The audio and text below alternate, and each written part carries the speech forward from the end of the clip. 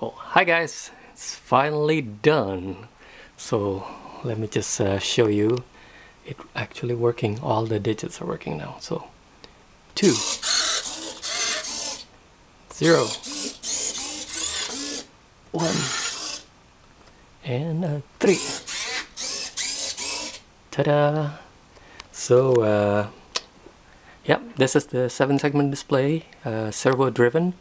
Each of the segment is has a servo on it, and that servo is what flips these faces back and forth. The whole thing is on a piece of plywood. The uh, faces are also made out of plywood.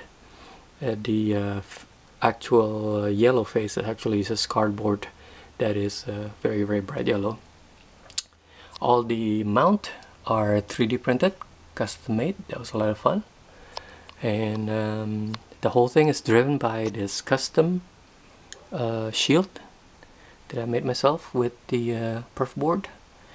I had to use a uh, some wires over here to uh, adjust for the wackiness of the Arduino uh, pins how they don't quite line up on one of the set of the pins. But it's all working. It's been a long journey. I have to uh, thank uh, my maker friends who taught me a lot about construction about woodworking different kinds of glues uh, the jigs the, without which this would not be possible because the aligning these segments were hell. But it's done. So let me talk a little bit about the uh, the shield here. Um, I realized that there uh, there are um, servo shields that will drive you know like 16 servos at once but we actually need 28 so I actually probably need two of those shields. But I had this idea that uh, what if you could drive a, a seven segment display uh, with a servo and treat it as if each servo is like an LED so doing a, a, a matrix just like an LED but the issue is, uh, unlike an LED where you could just put power, you know, one on the positive side and then one on the negative side and it will light up, a servo also require a PWM pin that actually pulses it and that controls the orientation, the angle of the servo. So you need also uh, those PWM pins, but we don't have 28 PWM pins. So my, my thought was that I would drive the positive side of the power for the servo with an A digit or column. So that would be driven by one of these Darlington pairs. There's four Darlington pairs there. Each of them drives the column. So that drives the positive side of the servo uh, segments that is per digit. On the negative side, I wire it on the uh, segments. So the current will basically go through what digit, let's say we pick this digit, and the column, the column here, I'm sorry, I'm sorry, the row here will determine which one of those segments within that digit will light up, i.e. give power. And then once it has power, of course, then we need the PWM to tell it exactly what angle.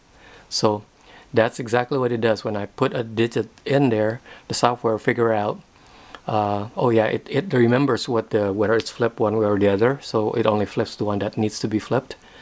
And then when it needs to flip it, it will just basically say, okay, which one do I need to control? So it will light up, it will give power positive to the right digit, it will give the right negative to the right segment, and then it will also have the proper PWM value for that particular segment. So that's the gist of it. It was a lot of work but it's been a lot of fun. Um, what else can we talk about? So yeah basically this uh, shield here only four of the PWM pins are used. There's no extra uh, chips that will actually do any PWM externally. It's all driven all the PWM is driven by the Arduino using just regular servo dot write command and uh, I still have a couple pins left over. The serial pins the digital 0 and 1 is actually being used to uh, control it. So there's a C-sharp app over here that I wrote to actually just send characters simple commands. It will send things like D0 and it will set the digit to 0 and um, the the other pin there are two more pins that's left over so I'm not sure. Probably I, I could use that for a clock or something. So this could be uh, uh, act standalone and display time or temperature or something. The application I haven't really given it much thought. So I think we talk about how it works the columns and rows and the PWM and uh,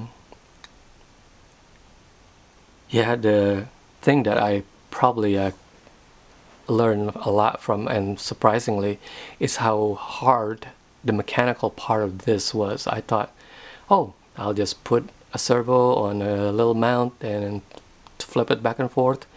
It was easy to get it working but it was hard to get it perfect such that they they look good. Um, so like I said thanks to all my, my maker friends who helped me with this uh, and I think it looked pretty good. Thanks for watching guys. Bye bye